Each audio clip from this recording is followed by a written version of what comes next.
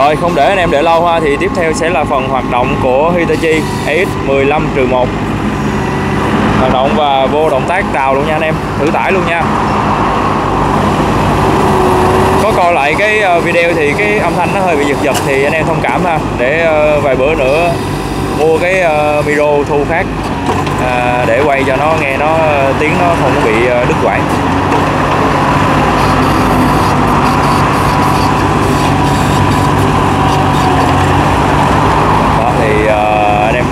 dòng Hitachi thì ờ, đặc biệt dòng triệu 1 cực kỳ khỏe luôn. Đó anh em xem nó hoạt động. Còn uh, già nha anh em. Chống hai đầu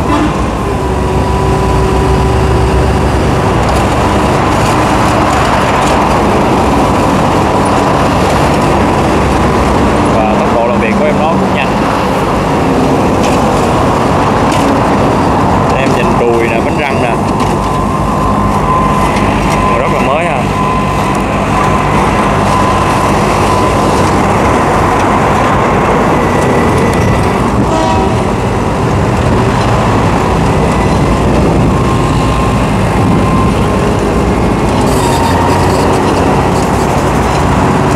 đó cắt hai chân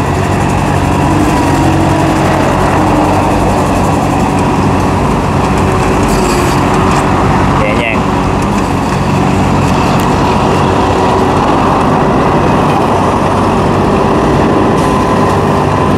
rồi bây giờ sẽ vô thử tải đào đất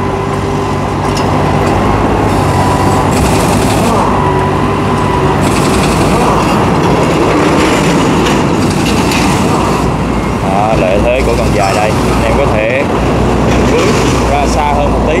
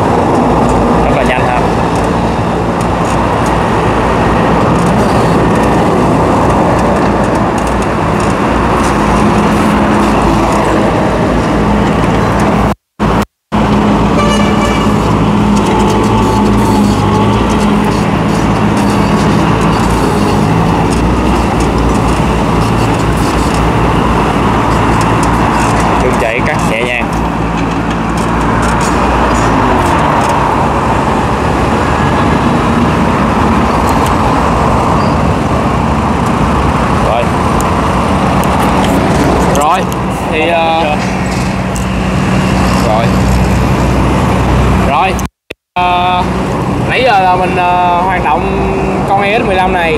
Thì theo mình thấy nha, theo nãy giờ anh em xem thì cũng xem rồi, và bây giờ mình là người lái trực tiếp. Thì mình có cái đánh giá sơ là cái cần dài này á, thì theo mình thấy là nó sẽ nặng hơn cái cần nguyên bản một tí. Đó, nhưng mà để mà đổi lại cái việc mà bị nặng hơn, thì nó lại được lợi thế là cái tầm với của nó rất là rất là sướng nha rất là đã nha. Thực sự luôn là, là khi mà làm anh em vướng vướng mà để cần với á thì con này với thì không cần phải bàn về cái độ luôn. Đã cực kỳ. Với lại hình như mình thấy là cái con S10 15 triệu 1 này cái cái phần ghế ngồi á con triệu 1 này cao hơn con triệu 2 một tí. Đó khi là cho nên là khi mà mình ngồi làm như con này mình cảm giác là mình ngồi cao á em. Nhìn xuống mình làm cảm giác mình uh, kiểm soát tốt hơn về công việc hơn là so với là mình ngồi con thấp hơn. Đó cũng là một cái lợi thế khi mà làm việc ờ, với con này. Ha. Rồi thì uh, nghe tiếng máy luôn. Tiếng máy và xem so sau khi làm nó sẽ như thế nào?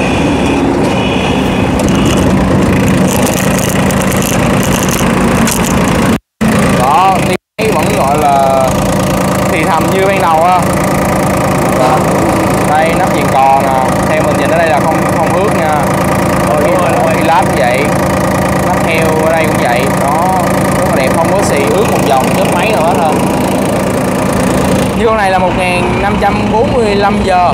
Đồng hồ giờ vẫn còn chạy anh em thấy cái con phim trắng nó vừa mới chạy lên. Đó đó phim trắng nó chạy lên nè. Rồi xong nó sẽ mất đi. Là đồng hồ giờ đang còn chạy. Đó thì đây là những con nào mà giữ lại được cái bản đấu giá này thì mình sẽ giữ nha để mà cho khách ờ, nó như về đây là mưa, mấy bữa nay là nó ướt nhẹp và bỏ luôn thì nói chung là nó có cái số giờ ở trên đây để đây đời 1993 đây, thấy cái số giờ chưa?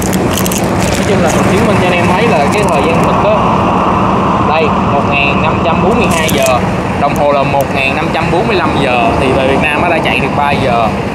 Đó, rồi hoạt động ờ, sau máy X15 cho anh em này động cơ và bơm. À, sau khi xe hoạt động à, và quay luôn cái nhiệt ha. Hồ nhiệt nằm ở mức nửa kim. Đấy cho anh em xem là hồ nhiệt ở mức nửa kim. Thì cái thời gian hoạt động không nhiều nhưng mà nếu mà cái thật sự cái xe nó nóng anh em thì nó sẽ nóng nó sẽ lên nhiều nó lên nhanh liền. Chứ không phải là nằm ở cái mức này. Đó và và nếu mà anh em nào mà đang quan tâm đến cái dòng ờ, EF15 này nhưng mà con này là cái cần dài 3m3 thì ờ, anh em liên hệ trực tiếp với Đỗ Thành Đạt để mà có được cái giá và cái option như anh em mong muốn. Đó. Rồi cảm ơn anh em đã xem clip và nhớ bấm đăng ký theo dõi kênh để mà à, mình sau này sẽ quay nhiều xe đi hơn cho anh em xem. Và nếu mà thấy hay thì cho xin một like. Chào tạm biệt mọi người. Chào mừng anh em đã trở lại với kênh của con hàng Đỗ Thanh Đạt ha. À, hôm nay mình uh, quay một chiếc clip. Uh, có hai con EX15 một con đời trừ một một đời trừ hai. Thì uh, trước giờ Đỗ Thanh Đạt đều đã có rồi nhưng mà không uh, không có được uh, trong cùng một cái video cho nên là sẽ khó chỉ những cái cách phân biệt uh, của trừ một trừ hai. Thì uh, mình sẽ hôm nay sẽ có tiện ở đây có xe thì sẽ uh, chỉ anh em cách phân biệt trừ một trừ hai và những cái ưu điểm nhược điểm của trừ một và trừ hai luôn. Và trong đó hôm nay á trừ một nó sẽ có điều đặc biệt hơn của những con 10 của hãng khác. Trong cái phân khúc đó nha anh em thì uh, nó sẽ là mang được cái một cái bộ cần dài. Đó để anh em làm uh, việc uh, khi mà anh em làm rồi thì anh em cũng biết uh, cái cần nó dần dài hơn 3 tấc hai tấc 3 tấc thì khi mà anh em làm việc nó rất là hỗ trợ mình tốt trong công việc luôn. Đó thì uh, con này là cần của nó đang dài là 3 m 30 phân. Đó là hiện tại dài hơn những con trong phân khúc khoảng 3 tấc đó thì nội 3 tấc cần thôi là một cái gì đó rất là là hỗ trợ tốt cho mình rồi. Và đặc biệt nữa là nguyên bản nữa nha anh em. Đó đó thì đây là cái cần của S15 triệu 1 đó anh em có thể uh, nhìn sơ qua xéo qua bên kia để xem luôn cái cần của S15 chiều 2 thì nó là một cái cần nguyên bản. Và những những ờ, chung hết cái độ dài trong ờ, phân khúc 15 luôn. Rồi thì ờ, S15 này thì uh, quá là anh em. Mình quay review cũng khá là nhiều rồi. Thì uh, lợi thế đây là bộ tay lái. Bộ tay lái là bộ tay lái nách. Đó. Và xung quanh xe đều là bằng sắt hết. Nên là anh em khi làm va chạm nó sẽ rất là không cần phải lo nhiều ha. Rồi thì sẵn ở đây là thấy được không hai cái ờ, đuôi xe. Thì cũng nhìn bằng thường thì có thể là cũng phân biệt được phần nào. F15 thì cabo nó sẽ ngang vuông hết luôn.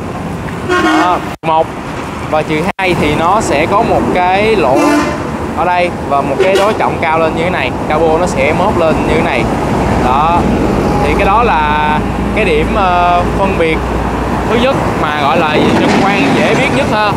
Và đó là ở bên trong cái khoang động cơ này thì động cơ của ES15-2 là thay thế bằng cái uh, động cơ Kubota D105 đó còn ES15-1 thì nó sẽ là động cơ Isuzu 3KC1 một.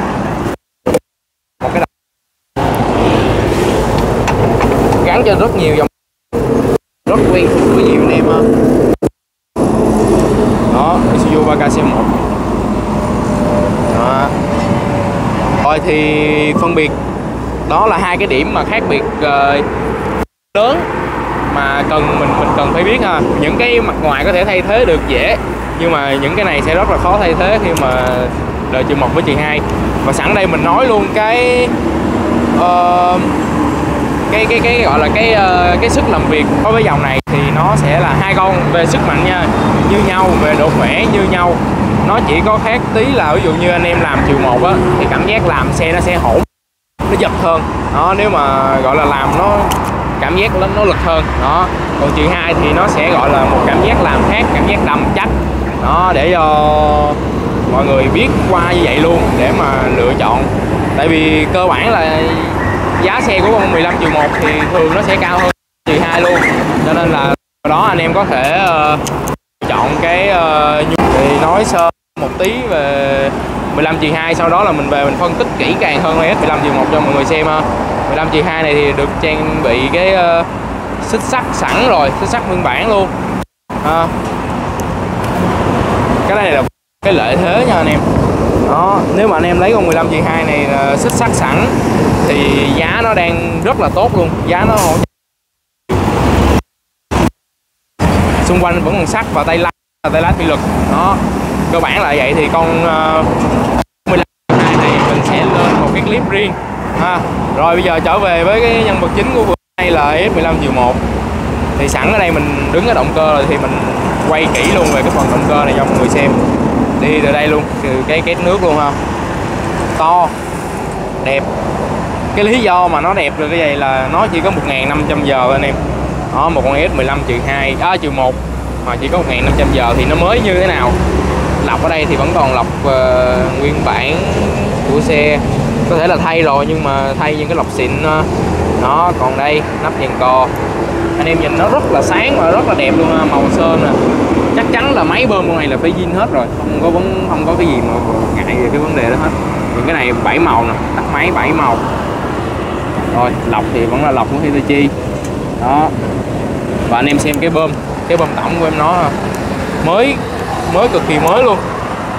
Còn một cái nữa mà đổ thành đàn mình hay nói tới phần để xem cái độ mới của bô à, độ mới của cái xe á, thì đây là cái phần cái bô nè là cái phần nhiệt nhiều nhất trong cái động cơ. Nếu như mà làm nhiều thì những cái này nó sẽ xét hết. Và anh em nhìn cái miệng bô ở đây nó nó còn nó còn đẹp cực kỳ luôn. Rồi đây cho anh em xem luôn cái đồng hồ giờ 1545 giờ. Đó là giờ thực tế của xe ha. Đó 1500 giờ. Và đặc biệt ở những cái con S15 này á, mà giờ nó ít á, thì anh em nhìn vô cái hộp tay tay lái rất là đẹp luôn ví dụ như anh em mà lên xuống nhiều á làm càng lâu thì tất nhiên là cái mật độ mình lên xuống càng nhiều thì những cái cái góc này nè nó sẽ bị chóc mòn chóc đi. Như con này thì nó chỉ mới là bóng lên thôi. Đó cái góc này nó bóng lên nên nó không mòn chóc gì hết. Như là sàn này mọi thứ nó còn rất là đẹp. Công tắc con này rất là còn đỏ ửng luôn nha. Hơi bị hơi khó thấy. Nhưng mà nếu mà anh em nào mà được thì uh, trực tiếp mình sẽ cho anh em xem kỹ những cái này. Rất là đẹp và cái lợi thế của cái ờ, dòng F15 này á là cái bơm quay toa nữa anh em. Bơm quay toa của dòng này là nó xài như một con xe lớn luôn là sẽ là một cái phần bơm ở trên bơm bít tông nha. Ở trên phần dưới sẽ là cái thớt nhông ờ, uh, truyền gọi là hộp số giảm tốc luôn. Nó nó xài như xe lớn luôn. Đó cho nên là những con S15 này tại sao nó bền hơn tại sao nó cái dòng xe khác mà giá nó lại mắc hơn? Đó là cái lý do nha anh em. Họ Hitachi họ từng ly từng tí ờ, của cái xe luôn. Đây, những cái ti của xe còn rất là đẹp nha. Như con này thì về đây là mình có thay ờ, phốt rồi nè, có ti nâng còn ờ, ti am và ti gầu thì còn nguyên. Chưa tháo nắp luôn. Còn phân ti còn rất là đẹp nha, ti còn bóng cực kỳ luôn. Rồi, sơ lược nó là như vậy. Còn về kích thước thì mình báo luôn với anh em là bề ngang nó là 91 m bề ngang và cần đang dài 3 m 3 rồi thì uh, rồi. Khi làm việc cái máy bây giờ nghe tiếng máy. Ờ, thử xe cho anh em thì động Isuzu này thì tất nhiên là nổ thôi đó. Và cái đặc Isuzu tất nhiên là cái cái tiếng ờ, động cơ nó sẽ lớn hơn động cơ cua tay nha động cơ cua tay sẽ êm hơn Isuzu này nó sẽ hơi có tiếng hơn nhưng mà anh em nào xài quen rồi thì nó không là vấn đề gì hết nha.